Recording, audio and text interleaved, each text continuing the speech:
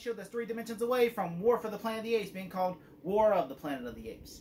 I'm your host, 3D Jake, and today we're looking at War for the Planet of the Apes, released in 2017. War for the Planet of the Apes is directed by, once again, Matt Reeves, and is written by Matt Reeves and Mark Bomback, this time replacing Rick Jaffa and Amanda Silver, who wrote the first two. This time it's solely written by Matt Reeves and Mark Bomback, who did write the second one with Rick Jaffa and Amanda Silver. This time around, it stars once again Andy Silver, Andy Serkis, not Andy Silver, Andy Serkis as Caesar, and Steve Zahn, you know, Terry Rocket, Terry Nor, Terry Nor Rocket, and uh, Woody Harrelson, and the movie is essentially a continuation of War for the Planet of the right Dawn of the Planet of the Apes set like I think ten years later or around that time, like it's set years later. And basically, there's only a huge bunch of humans left on the planet, even, and the ones who have become everyone else has become feral or died off from the virus or so. And so there are two fractions of military, and the apes are basically hunting. You know, they're hunting the apes because they're like, if they kill us, then it's just going to be a planet of apes and so they're trying to kill off the apes so that way they can really save their country and save their planet. And I think that's really cool. Um, when I first heard of this movie was coming out, I'm like, it's called War for the Planet of the Apes. I'm like, yes, it's gonna be about the war. And then of course you see it, and you like you see it, and then you're like watching, you're like, this is not war at all. This is more like Schindler's List, but with apes or Apocalypse Now. Like I'm sitting there watching this movie, and the first ten minutes when it's explaining like how it happened and everything, I'm like, oh, it's so cool when they're walking up there and everything. And then you see them getting in the war fight, a big you know firefight and everything with the apes, and they're on machine guns shooting. And I thought that was really cool. I'm like, yes, we're in this, we're in this war, yeah.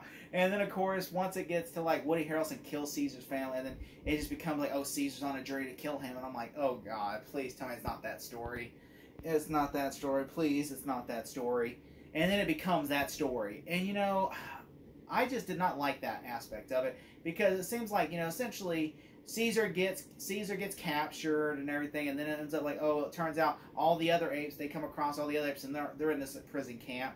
And I'm just thinking, wondering how do they even build that imprisonment camp? It makes no sense. Like that's one thing I disliked about this movie is they built this imprisonment camp, and so essentially, okay, all the apes are there, and then basically they have to mutate the virus because they have to make the humans feral rather than just evolution, you know.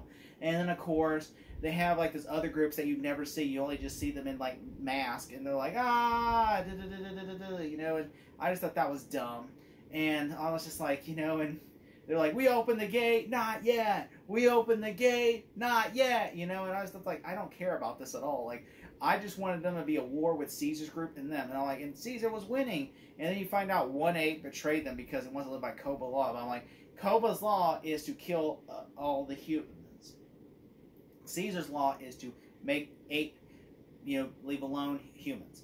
So and they're helping the humans because Caesar, I'm like, wouldn't it make more sense to align with Caesar than the humans? Like, wouldn't it make more sense to like wipe the humans out? Caesar, like, wouldn't it make more sense if that ape was like, okay, when the humans go away, then Caesar basically goes.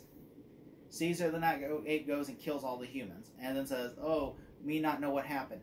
You know that would make more sense and logically, like I would like there, you like I like the idea of Koba, where Koba was like fighting it, and I, I kind of wish that that would have happened.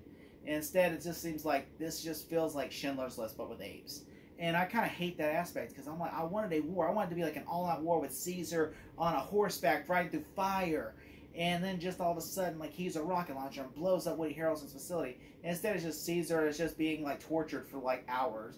You know, it's like I'm Spartacus, I'm Spartacus. It's almost like I'm Caesar, I'm Caesar. You know, and I just did not like that aspect. Especially, I don't like that his wife and kid was killed. So like you had his son with such a good role in the last movie, and then you just kill him off in the first ten minutes of this movie, and I'm like, it kind of pissed me off. Although I do will say that Andy Serkis still gives it his best performance. I mean, this he should have got an Oscar for like this or Dawn, really Dawn. And then also you got Terry Norrit who plays like you know who plays Rocket. Rocket is really good, and like they're really like you know the orangutan and Rocket, and then you know they're basically more sidelined because the focus of the story is Caesar in the concentration camps with the apes. And then, of course, you have Woody Harrelson, who is a guy who lost everything and who's like, oh, there's a virus that's spreading. And if I have to, I'll kill everybody in the movie because, you know, I'm evil. You know, and he's like, you know, and he's just like, you know, kind of like a governor type character and everything. And if you put, who I'm talking about, the governor from The Walking Dead and so he's like so evil and everything. And then of course, like you know, I was like, oh, I can't wait for the big battle between him and Caesar. Caesar's gonna mess him up. And instead, what happened? Caesar he gets the virus, and then he tries to kill himself. And then like Caesar, like he waits, he's what Caesar holds the gun to him to kill him, but instead he just ends up killing himself. And I'm just like, well, that's just stupid.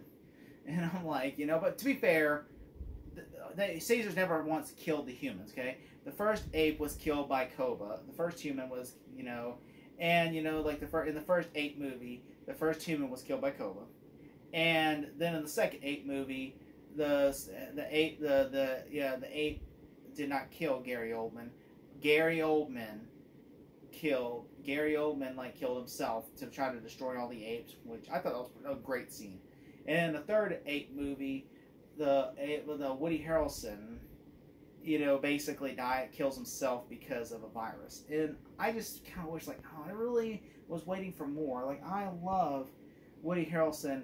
He's a good actor, but I'm like, this is just. I just felt one more. I will say there was some great stuff. Like Steve Zahn plays bad guy, and he's so funny in this movie and he's just a funny, funny character in the movie, and I really like it. And I also this little girl who's they call her Nova, and even like as a nod to the Nova in the future. And I thought that she was great in this movie. You know, she's just like you know this girl doesn't say anything, and she tag on with the orangutan, and they're basically you know like she becomes like that orangutan becomes that mother figure to her. And I like that aspect of it too. And I like Steve Zahn's just so funny as bad guy. He's just trying to explain everything. And Caesar's just like, and then Rocket's like, this guy's an idiot. I like how Rocket gets captured and everything, and then of course like they have to escape to the tunnel and everything, and like you know, and Steve said, "Bad guy's so funny in this movie." And I also like that Caesar, like Caesar gets the cold water thrown on him, and it turns out Andy Serkis actually did get that cold water thrown. Like he, they did not. His reaction was really like he was. They were expecting to warm it up, but really they didn't. And they threw it on. It's like, ooh, ooh. You know, I thought that was really great, and I also liked, um, you know, like you know how the other apes are trying to figure out how to get Caesar out of this and everything. I thought that was pretty great. And I like that, you know, the back and forth that Caesar have. He's like he's retaliating that he will not try to like you know, and like how the apes are starving and everything because they're like they're preparing for a big battle with another group.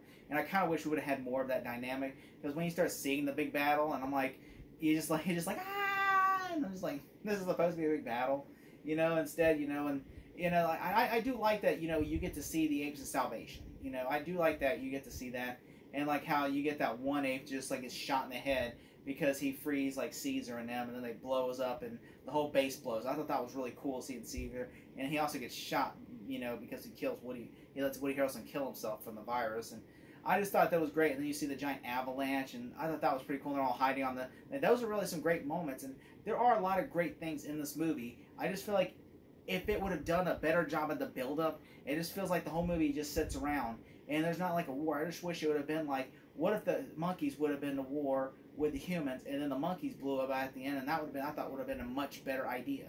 And instead, it would have just been like a human and apes, and I just felt like we just sat there in this whole base, the whole movie, rather than just being like, hey, can we just do like the war? Because I mean, you know, instead this is more like honestly, this shouldn't even be called War for the Planet It should be called Salvation of the Planet Apes. At least that would have been a more truthful title because it's not really a war unless you consider war as in like, oh, war doesn't have to be about battles. It just has to be more about strategy. I mean, if that's the case, then okay, Matt Reeves you know, was going the other route with the war rather than like, you know, but I do like that how Caesar dies at the end when Caesar basically gets shot and he di- dies once they get to their the, the promised land. Then of course Caesar dies in the promised land, and then you know everybody he made peace, but knowing that he got everybody into safety, he made that promise and he kept that promise. And then you know as you know, and then of course Rocket and all them get to take over now and lead the new way. And I thought that was really poetic, and I thought that really was a great way to end the series and I, I kind of like how it nods ends like it ends in the way where Charlton Heston one day come to this place. I thought that was really great. And this movie has a lot of great ideas. I just feel like it's not as good. Like a lot of people, I would say the best comparison is the Batman trilogy, the Dark Knight trilogy. Like I feel like Rise is Batman Begins, War, uh, Dawn is you know, Dark Knight, and then War is Dark Knight Rises. And even though I love Dark Knight Rises, I know a lot of people say that's a step down compared to Dark Knight.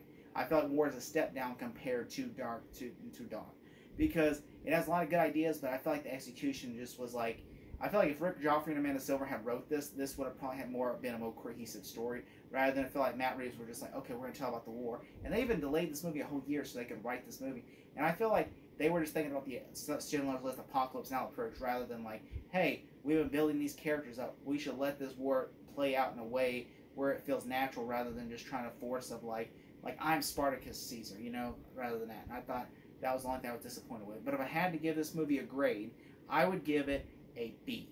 Planet of Apes.